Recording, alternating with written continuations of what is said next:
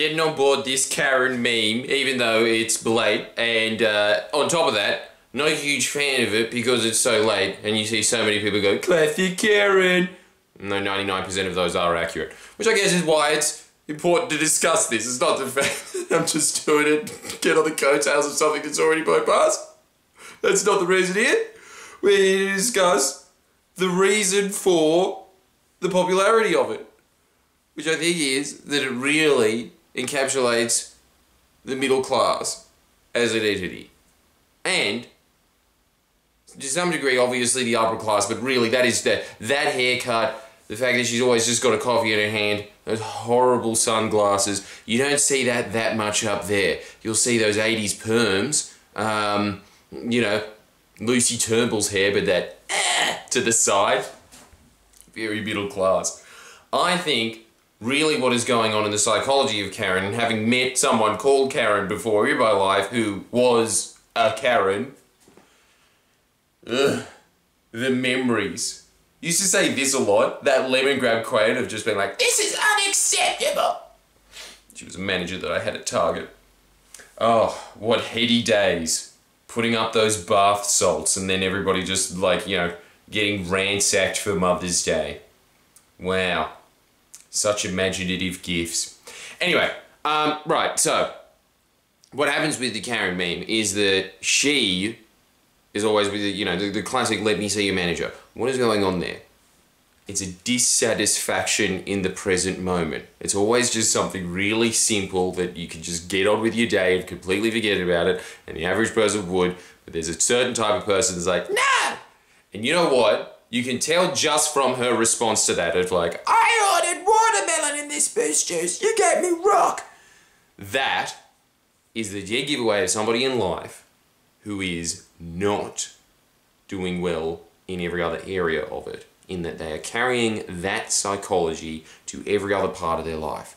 It's that classic relationships uh, quote, right? That, you know, you carry yourself wherever you go in life. That is exactly what is happening with Karens. Karens are dissatisfied in the moment. As a result of being dissatisfied in the moment, no moment they can just properly enjoy. There's not a moment of their life that they properly enjoy. And think about it from her perspective. Let's let's, let's be really sorry for Karen right now, right? Boo.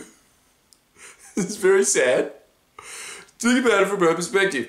Imagine getting up in the morning every day and the first thing in your mind just being like, I need new peach shiller, pillow sheets. Got there eventually, huh? I need new pillow sheets. So going to brush your teeth. Ah, this toothbrush is getting a little wobbly. Ah. All day, nothing is good enough for you. Everything always has to have an issue with it, and as a result, it is dragging down on you personally. Now, remember when we talked before about state transferal, that when you meet one of these Karens, your response is, ugh, what a bitch. She is emanating that energy. now we get into the hippie part. She's emanating that energy, and as a result of emanating that energy, you're kind of feeling the way that she feels on the inside. So the reason that you are so repulsed by her is because she finds everything so repulsive. It has that opposite magnet approach of just putting two to two together, but they just go.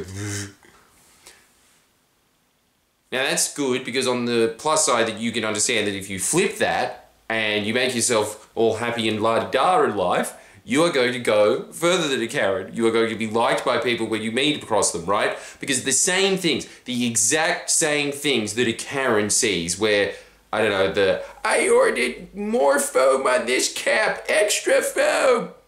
You know what happens to most people? Most people in that situation, they go, oh, okay, I guess they didn't have it. Oh well. And then they move on with their life. Even if it costs them an extra 50 cents because in the grand scheme of things, it's not worth getting upset about it. That's the whole point that these people need to understand that they never will. But anyway, but just, just, just as a case study for you, if you are getting upset by little things in life, there is a flow that you are bringing with yourself that you can easily like start moving downstream and the rest of your life you just start looking for things to be disappointed by. And as a result you find life disappointing. And as a result of finding life disappointing not only are you more repulsive to people but the other thing is that your life starts to downwardly spiral. If you are getting hung up about these tiny little issues in life that's what happens to you You're not, you don't have the energy to think about big picture stuff because you're thinking about how you got screwed over on this tiny little thing. And so that becomes your main focus in life of just like, oh, I'll get you back for no, I'm never coming to this place again. I'm writing a bad review on Yelp. It can consume you. Now, obviously, as a political commentator, I go down that Karen hole all the time, constantly. My whole life is that. It's just a, a, a, constant meditative practice that I think I learned from Eckhart Tolle, which is that the key to enlightenment is to, no matter what the circumstances are, be grateful for it because it is a moment of your life and it will pass. But what won't pass is the attitude that you bring with it. Your attitude will start to get reinforced over a period of time. So, there are people, for instance, and I know them, that have been homeless and they were completely happy with that. They saw it as a life experience. Now, I think that one of the main factors of why some people remain homeless and some people get out of it is because of that thing that, you know, you have a success barrier in life and you have a failure barrier in life. And obviously, a lot of people that get to that point because of external circumstances, usually mental illness and whatever, they usually have a much lower failure barrier than most people. But other people, when they are in that homeless position, they go, nope, I should probably have a bed. I'm going to try and figure out how to get a bed. That's where they get to that level, right? But the thing is, if you are homeless and in that situation, with or without that, like with or without you trying to get out of being homeless, with or without that little little jigsaw piece of psychology, doesn't matter. The point is you're homeless now. The point is you aren't where you want to be in life now. And so you should enjoy that. Because where you are in a point of your life where you are successful, it comes with its own limitations anyway. So the whole point is to just bring the attitude with you. So if you are one of these people that just gets really upset about tiny things, essentially what's happening is you are not present in the moment. As soon as you're present in the moment, it doesn't really matter whatever the moment is. As soon as you actually are engaged with the moment, Unless it's like really extreme where like your, your Abdullah Ablongada kicks in and he's like, ah, fight or flight, baby! Oh, oh, sorry, that was my mom. Even if, if you aren't in that situation that is, is that dire, that you're about to die, any other time where you have logical control over your brain to some degree, you can look at it at any perspective in life in any way that you like. Because, again, Karens complain about the cap that doesn't have enough foam on it. Most people just look at it and go, huh, okay, and then they get on with their day. But that Karen, you know, is just going to complain to everybody about it. Not just the let me see your manager thing. She's just going to go to work and she's just going to be like, can you believe this? Does this look like extra foam to you? All day. I got a cappuccino. It costs four fifty. Uh, that extra 50 cents was for the extra foam. Even when I'm talking about it now, mimicking her. I think that is one of the other reasons that I like Karens because Karens are fucking annoying. and so, what you are looking for, and this is a constant practice in life, is to be satisfied with every moment of life. You can do it. You absolutely can. There are people, and you would know them, that no matter what situation they're in, they find it fun and amusing.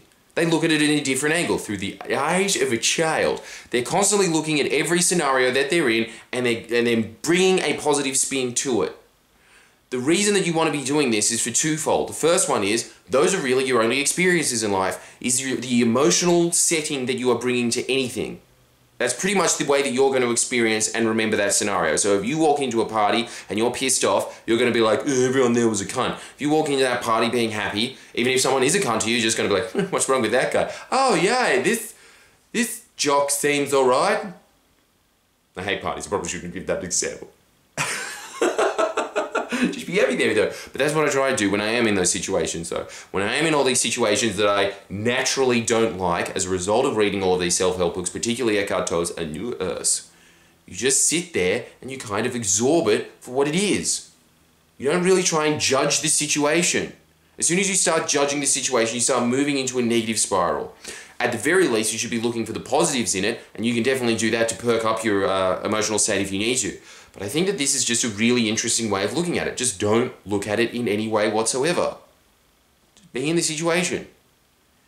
If your coffee didn't have its little I don't know why I keep using this example, but you know, if it didn't have that little foam over the top of it, does that ruin your day?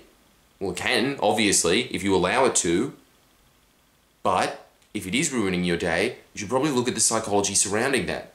Because if you start looking at that and just being like, well, that's bullshit. If you start going through your day, you will notice that you will find cues and reasons to be upset by tiny little things. If you're upset by one of those tiny little things, you will be upset by many of those tiny little things. I really think that that's a major reason that I was able to build the business that I've been able to build. It is, it is purely because I've been able to move my focus away from these little bullshit things that drain your energy more than most people. I'm not immune to it. I'm absolutely not. But at least I understand that one little piece, that one little piece that you should be constantly looking for the I guess I guess the the, the, the objective reality of every situation. And the objective reality of every situation in life is it's not that bad. There's very few moments in life that are awful. The rest of it surrounding it are kind of just this, yeah. So why not feel like that? Yeah, you can. It's really easy. It's called just like getting present with the moment. Now, I'll give you a couple of exercises to get present with the moment. Now, we've talked about breathing before, we've talked about just noticing other things in the room. But I think that this question really holds true. Eckhart Tolle talks about it all the time. He's saying, What is my relationship to the present moment? As soon as you ask that, you can just feel your head go and clarify. So maybe just write that down as your homework. That's it. Just ask yourself this question whenever you feel yourself getting mildly pissed off or that you're in your head and you just start going into that state of just like flux and anxiety and and then usually what happens after that is that you just really you look this is a really good example. If you're in the present moment, you look at the clock and the time doesn't surprise you. If you're not in the present moment, you're not enjoying the moment, time will slow down and if you are enjoying the moment, time will speed up, obviously, right? If you're in the present moment, however, doesn't surprise you what time of day it is. Nothing really surprises you because it's all just unfolding in real time. It's a really good psychology to get into. It's a really healthy psychology to get into. And if you get into that, you won't get memed as being a Karen for the next week, I'm assuming, before that meme dies. I really don't think it has that much of a shelf life, and I think I've missed it. Anyway, make sure you like the video for Karen memes. Yay! Give me more questions.